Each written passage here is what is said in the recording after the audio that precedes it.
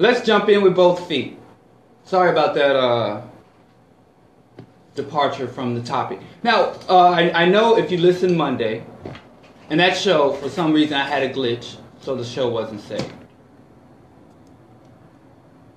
But if you were listening Monday, you'll know that I promised to talk about the world at war and all the major conflicts going on. And since Hillary is basically being coronated, crowned queen of the world, we know that all of these major conflicts are going to intensify because she's a major warmonger.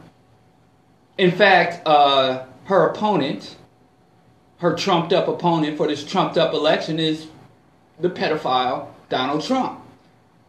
Alleged pedophile. I know he's very litigious man with very small hands, so anything I say about him is alleged until proven otherwise. But um, Trump, well, Trump has actually demonstrated himself to be less warmongering. He's more interested in suppressing the local population. He wants to close down U.S. society. He wants to close down the press. He wants to beat up protesters. But as far as people like Vladimir Putin and Kim Jong il, he figured that they should be able to, you know, run their regions and run their nations the way they see fit, and that the U.S. should focus on keeping their rabble in check, you know, which is an elite agreement. And remember, it used to be in the 80s during the Cold War, the progressive liberal position was we have to reach out a hand to the Soviet Union. We have to talk to the Russians. We can't just uh, issue threats and, and maintain hostility. It was the progressive anti war, anti nuke position that we should talk to Moscow. And we should work with Moscow as partners in peace and reduction in nuclear arms. All through the 80s, really in the 50s, everybody was anti Russian. And actually, the liberals, the progressives, were more anti Russian than the uh, conservatives, even. But as the Cold War began to thaw a little bit, but now the, the things have flipped. That's why I don't nothing mean nothing to nobody in this country politically. It's all about the money. There's no really no values, no culture, no standards in this society. You know.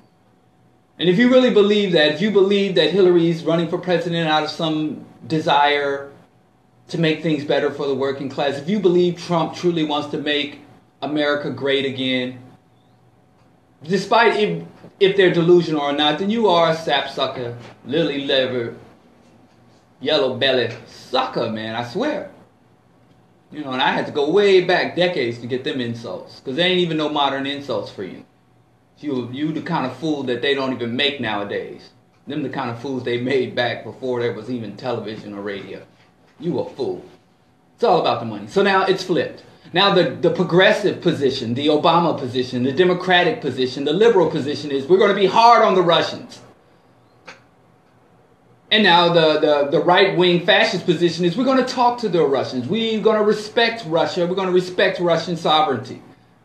When back in the 80s when Reagan, it was flipped. And then the same, and now we have some of our uncles and aunties that were Democratic under Carter who supported Mondale, who were Democratic in the 80s, were, were the same people that were supporting, yes, we have to talk to the Russians. We need nuclear treaties and negotiations and arms uh, armistices against the Russians. Are now voting for Hillary, who says, I'm going to bring down the hammer. No fly zones, sanctions, which is an, a direct and deliberate act of war. So, y'all some suckers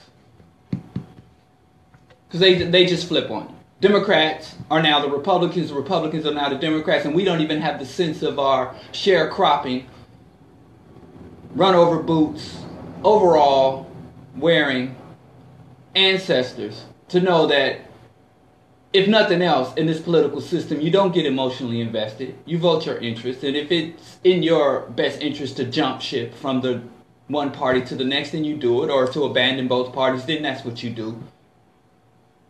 So that's what they did. Remember, most black folks were Republican, turn of the century. When we finally did get the right to vote 100 years after we had the right to revolt still. And then slowly but surely and deliberately and intelligently, we said, you know, ain't nothing over here for us. The Democrats is handed out sweeter candy. So we went over there to get our cut. And now it's time for us to have a political powwow amongst ourselves and figure out, you know, what's our next move for the black voting bloc. And not be emotional, I ain't voting, like the black nationalists, or be emotional like the integrationists. Voting is what our ancestors died for. No, our ancestors didn't die for us to vote, and no, voting is not completely meaningless there's some nuance, some balance, and some some better, more thorough analysis needed there. And that's not even what I want to talk about. I did promise to talk about the global conflicts because Hillary is a warmonger. Hillary is, if you want to know what a Hillary presidency looks like, a feminist presidency looks like, a matriarchal presidency look like, go to DuckDuckGo, the search engine that doesn't track you or you can go to Google if you want to flood the NSA with all this senseless data. Because I say, just blow up their servers. Just flood them with everything. They want to watch, give them something to watch. Too much that they can't even process all the data. Or you can go to DuckDuckGo if you own some other stuff and you don't feel like being watched at the moment. And Google Golda Meir or Margaret Thatcher or Queen Victoria. If you think a little bit more estrogen in the white power pop pop, uh, pipeline in the veins of the white power beast is going to make any difference for the world. It didn't make any more because, like, Obama put a little afro sheen in, in the pipeline of white power and it didn't change nothing. Oh, it put us to sleep. So are middle-aged white women going to go to sleep, stop being so hostile and protest things that since one of theirs is at the helm, it's all gravy? Are they just going to share beautiful images of Hillary in her pantsuit cradling her grandchild and be like, oh, Hillary on fleek.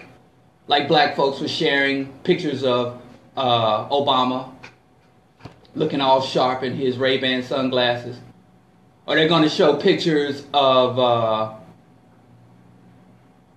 Bill Clinton as he, you know, prematurely ages, sitting on a beach in a Speedo and be like, ooh, first, the first husband is fine like black folks been sharing pictures of Michelle in her ball gowns or swim bathing suit, talking about how beautiful and shapely she is. Are, are, are middle-aged white women going to go and sip the Hillary Kool-Aid, or are they going to take that token of a middle-aged grandmother? Oh, she's beyond middle-aged, but an elderly grandmother in office doing the work of the empire. Are they going to fall for the okey doke like the black masses across the globe fell for the okey doke of a black presidency? Oh, and then one more thing. Because then I'll get into it. Because I really wanted to talk about, I was going to talk about War of the Worlds. We're going to have to say that for Friday because, you know, the police didn't apologize. The, the international, the Poli- International Association of Police Captains that issued us an apology. An apology. So we'll come back to that. So what I really, uh, and one more thing, because the debate is tomorrow. And what I'm going to do, because I want to do a debate special. We, we got to keep chopping it up about politics. Politics, many ticks mini bloodsuckers. We have to chop it up. I'm going to take the questions and issues that are posed to the two candidates, the real candidate and, and, and the Trump card in the candidacy. I'm going to take it and then address them from a Pan African perspective tomorrow. I haven't watched any debates. I, I prefer to read the transcripts afterwards. I just can't look at those people. They're not just they're just not the most attractive people. Hey, it's not even anything political or ideological. It's just my own personal taste. Trump looks like a clown, and I giggle a little every time I see him. He's a funny looking dude. Like if you saw him walking down the street, you know, and it's a funny looking dude. And Hillary is just bland, blah, you know. But yeah, I mean, whatever. But I'll take that. But what I do want to say is, guess who Trump is kicking it with? And he's going to bring him to the election. It's Malik Obama. Yes, Barack Obama's half brother. And so now everybody tune in. I just want to talk to Barack Obama's half brother for a second. I know what it's like. Listen, I had an older brother who was a baller. You know, while I was a little lame, going humping off to school, didn't really have no respect in my little projects. Didn't have no name. My name wasn't ringing out. I was catching a bus and barely had enough money for that. And that's when the bus was only 75 cents. I had a brother who was balling, leather jackets and, and all the hip stuff, fly shoes, had this nice little tricked out cars, and he even had like the, the custom made little door lock knobs, rims. He was balling out. And nobody paid any attention to me. And every now and then he'd throw me a bone. He'd come get me, swoop me, and maybe one of my friends up, take us to the club, take us to the mall, kick it a little bit, then drop me right back off in my little dismal existence as he continued to ball out of control. Shout out, Thunder. All right, now he's calmed down. He's an older man now. He's tending to his job, tending to his children. But he used to ball out, and I was nobody. But you know what? I never. I was always loyal. Couldn't say nothing to me about my older brother, my half brother. Couldn't tell me nothing. That's my brother from a different mother, and we ride or die. But you gotta stay loyal, just for your own sake, even if your brother is a petty token fascist. So you're gonna side with a real, blatant, open fascist? So Malik, don't do this, man. Don't show up at the debate. Don't let Trump play you like that. Because after the election, guess what? He's going to kick you right back to Kenya. He's going to deport you with all the Mexicans. You might end up in Mexico. He might not even spring for a ticket all the way to Kenya. Don't play yourself, man. Don't play yourself. Stay loyal to your brother because he's your brother. And, and yeah, you go to him and you check him. There's nothing wrong with you stepping to him. Like, yo, I don't like what you're doing. So I'm about to ruin you know, whatever. But don't don't don't don't show up on national global TV really sitting on Trump's lap. Don't do that, Malik Obama. But now I want to talk to Trump. Everybody tune out. That's enough for now. Trump. I just want to say to you, you you wild. You're a wild dude, Trump. You funny.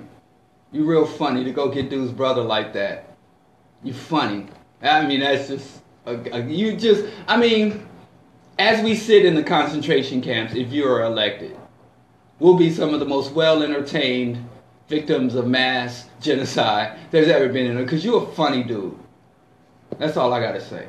Get back on TV. Get off of this political stuff and go clown around the television screen on reality TV. I mean, you look how many vaginas are going ungrabbed as you pretend to be something other than a sexually assaulting fascist. Get off, get off this politics stuff. You can't really shine or glow. What? I don't think you shine. Trump, you glow. Glow orange, orange dust.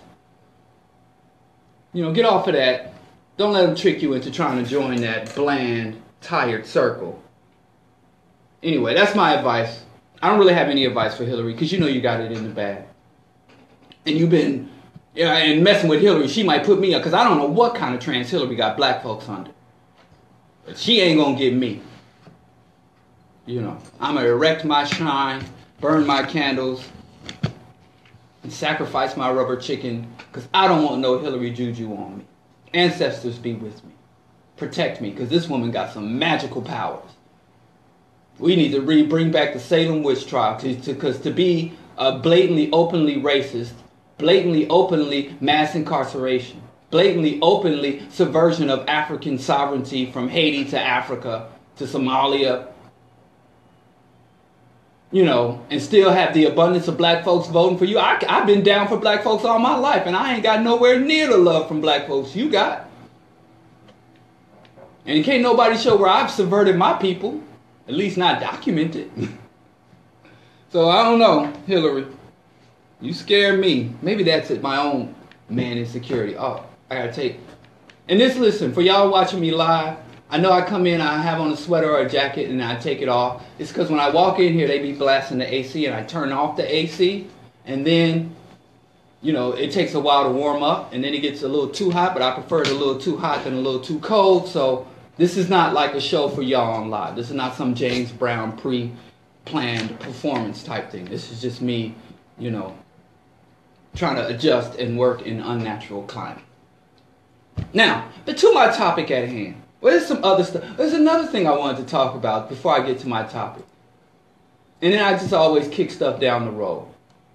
Y'all remember uh, Jessica Lynn Sanders?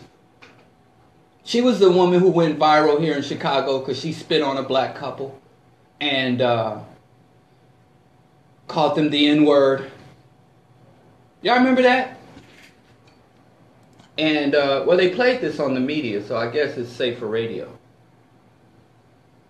What you call me? Say it again.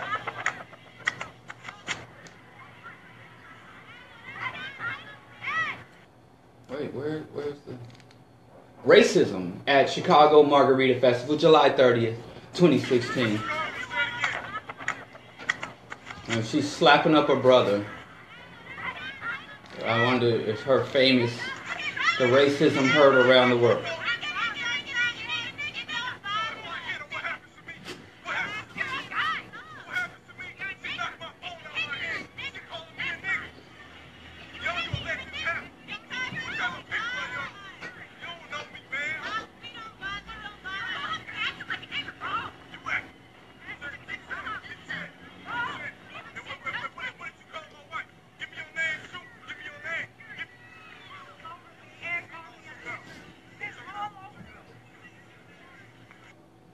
Y'all didn't heard what they said.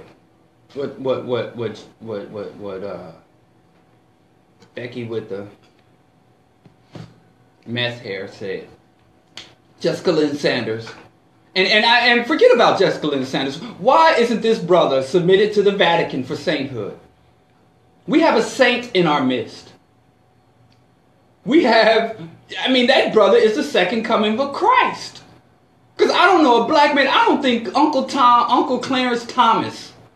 I don't think the, the reserved Barack Hussein Obama and Michelle Obama could have been subjected to that. And just, I, we have a holy man in our midst. I'm going to go on a pilgrimage to find the brother who take this and sit at his feet and see what wisdom he can impart to me. Because obviously, this brother has reached nirvana. This brother is a guru He's a saint. He's a lama. I mean, this brother is the peak holy man of all of the religions, if you ask me. Because I mean, just I'm almost I almost swung on the damn computer screen. I almost put my foot through the damn computer screen. Just watching it. But he was there, and his wife got spit on, and his wife. I guess, but you know, religions don't mess with women too heavy. She should just be happy because you know all the even even the Buddhism and the Hinduism all sexist and anti-women. So she just has to be content with, you know, she could get sainthood.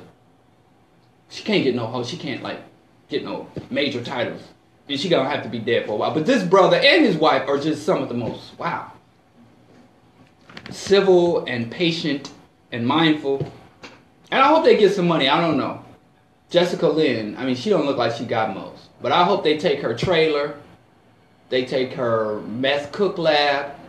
They take her smelly little tank top and yoga pants and all of her UGG boots. Take it all.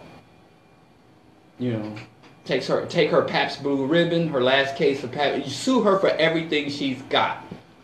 Those scrunchies and those Starbucks gift cards and that case of Nutella. Take everything that girl got, man.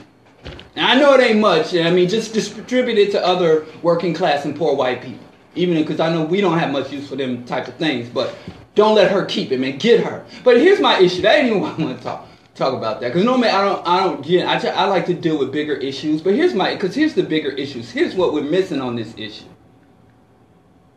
Um, she's been charged with a hate crime.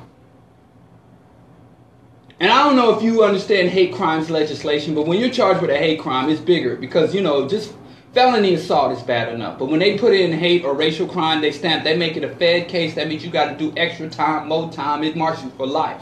And black folks, at least that I've seen since the charges were announced and her $50,000 bail, which she hasn't made yet, was announced. Um, we've been hooping and hollering as if justice has been done. And let me tell y'all something. Who you think is going to be up next for hate crimes? They just charged a black woman, a Black Lives Matter activist, with felony lynching. You know, and not only that, look up the genocide laws because when they put laws against genocide, right? When they made the, the genocide law, black folks were like, yes, as if we really thought, because we've been victims of sustained ongoing genocide since 1492, Columbus sailed the ocean blue, but even before then, there's been campaigns of white aggression, Western aggression, Asian aggression, Arab aggression, Islamic aggression, genocidal aggression against African people, against Native people, against Aboriginal people, New Zealand. So when the UN says, "Hey, we're going," we had they had the Nuremberg trials and they had the Convention on Genocide. They defined what the crime of genocide is and said, "Okay, anybody else doing genocide, you're going to be brought before the world, convicted, and locked up in the Hague World Court." Right? But let's look at the list of people who've been charged and convicted of genocide. Uh, Argentine, there was an Argentinian uh, strongman. Bosnia, of course. But they, you know, Bosnians, remember the Mongol hordes? There's this thing, we're going to get into white ethnicity. Because I know we think of white like a blanket of snow, like a, a avalanche of snow, perhaps. But there's a lot of distinctions within that, that diverse. I mean, there's a lot of white diversity. A lot of, I don't I, I can't even say that without laughing. But we're going to get into the, the ethnic internal divisions of white folks. Because somebody asked me to do, because I had promised to do a show on the myth of white unity. Because you know, these clowns out here, black people don't stick together. As if anybody else sticks together. That's not our issue, that the fact that we don't stick together. That's not our issue. Right? Okay, you had one Argentinian convicted of genocide. You had one Bosnian convicted of genocide. One Ecuadorian convicted of genocide. Two Ethiopians convicted of genocide, one, three Iraqis convicted of genocide, one Italian convicted of genocide, 26 Rwandans, Africans, 26 Africans convicted of genocide, and one Serbian. And like I said, Bosnian Serbians, I know y'all thinking them is white folks. And maybe even some of y'all Argentine, but them are not, no, them is dingy white folks. Them are Slavs and, and even Hitler, all the Aryan white nationalists know the Slavic people, especially since their flirtation with communism. But even long before then, they ain't never really been down with the West. That's Central and Eastern Europe and even Southern Europe. It's a pretty tight circle of official, full on whiteness. Finn, Finnish, Scottish, British, maybe Irish sometimes. You know, they have a, a temporary they're under pro. Their their their ticket to whiteness is under probation. It stays under probation. But anyway, the vast majority Ethiopians, Arabs, Africans and Arabs, or Africans and Persians, depending, totally dominate. And we thought that genocide was supposed to. And these are people who have been victims of genocide. So, and then as we look at the history, as hate crimes legislation progresses, I predict that black nationalists Black liberation fighters, black people standing up to white aggressions will be the new face of hate crimes. But they do need their scapegoats. They do need their sacrificial lambs. Because this woman obviously committed criminal and felony assault. And she obviously needs to be charged and convicted. But when they throw that hate crime on there and they make it public, this is their altar. They're throwing her. She is the virginal sacrifice because they about to bring all that hate crimes, racial crimes. So if you get in fight with a white dude and there's any type of racial element to it, so in the fit of rage, you swinging on this dude and you might use the word you might call him a saltine or a ritz. All of a sudden, you instead of just getting into a fight, something that could have been, you know, played down to a public disturbance, and you know you pay a small fine, you end up in the Fed doing 10 to 15 as a hate criminal. I'm just saying. I'm just saying. You show up and protest a, a, a, Klan rally and it gets heated, and they say you came there to spark racial tensions, race riots. So I'm just saying, you know, watch this hate crime stuff. Now, I'm not about to march. I'm not about to get a Becky with the mess face uh, t shirt. I'm not about to contribute to her GoFundMe. I'm just saying we got to look at our own interests and we got to look at the long game. Don't don't knee jerk, reactionary. So I think that's the, the, the, the stuff that popped up in my face. Maybe I can get back to the issues at hand now. I'm sorry, y'all. Terrence Cunningham. When you hear that name, don't you think of a black dude? Terrence Cunningham. When I first read this, I had to run to the worldwide internets to look it up because I'm like, this is a brother. But no,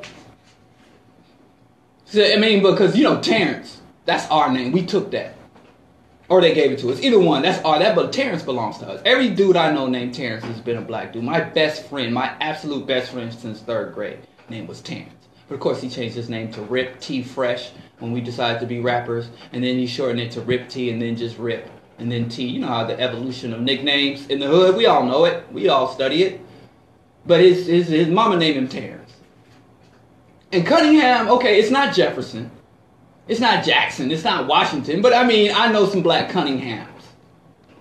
And it's not the most common. I just thought, but again, that's not relevant at all. I thought it was a brother when I first read it, and based on what he said. But Terrence Cunningham is the president of this relatively obscure group called the uh, International Association of Chief of Police.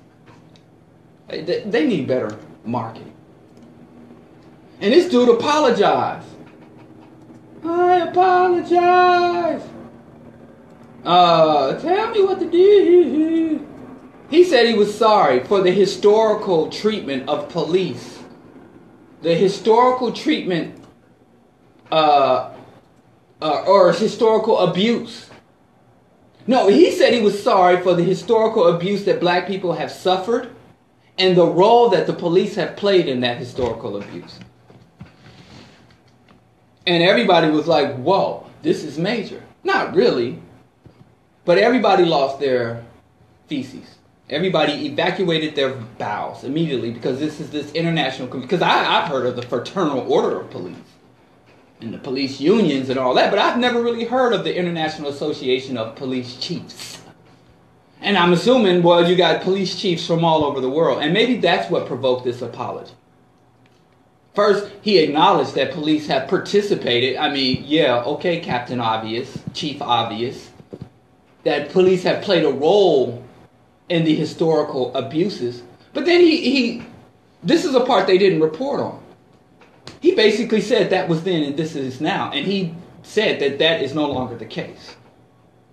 Look it up. Look up the details of the statement. They just play the one part.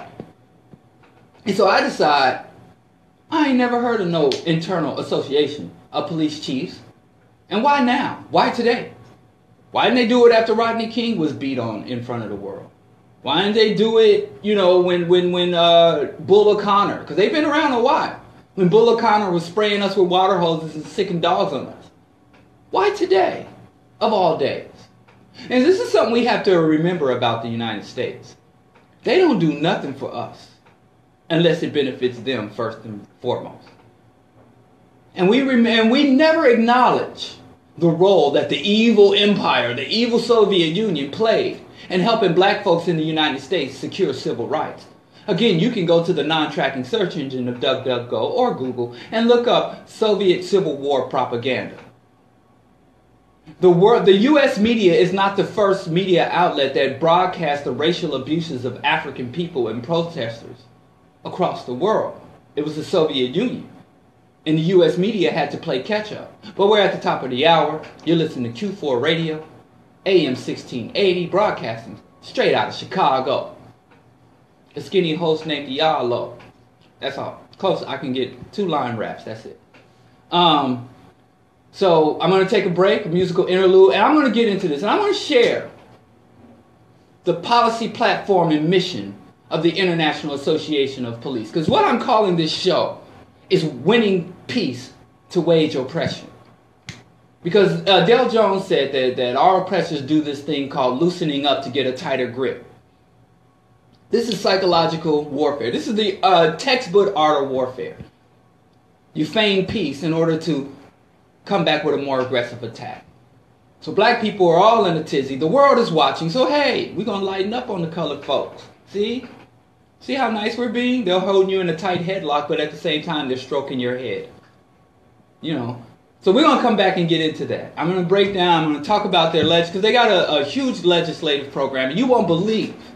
It's an insult. At this point, based on what I knew, I thought it was just some tokenism, some PR, but it's worse than that. It's much more insidious than that, this apology. And then the Black Lives Matter leaders are split. Some are saying it's not enough, some are saying they, they applaud, but I'm saying it's all bunk. You can take your apology and shove it up your black sounding name behind Terrence.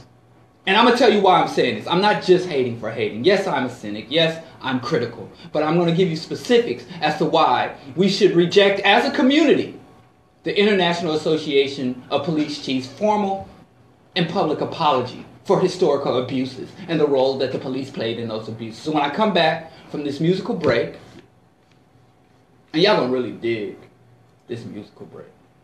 I think I got some real, some hot fire for y'all. But anyway, when we come back, we'll get deeper into that. This is Cocoa Tea Nardo Ranks, Rikers Island. Now this one is a special dedication to all the man living in Rikers Island. Cocoa Tea and all the man. Me, me, me, and I'm like, Come sing up. um, see, I'm, I'm not pointing. The first time Peace. you come and Um, thanks for tuning in live. I'm going off live, but you can find me at que4.org, the website. Uh, you can go to the Que4 Radio Facebook page and listen directly from there, or you can find the show archived sooner than later at diallokenyatta.com. Thanks for tuning in live, and uh, please continue to tune in. Please continue to get my numbers up so I can stay here because I like it here. You know, it's very comfortable, cushy seat. They're old, they're grimy, but they're cushy too. Peace.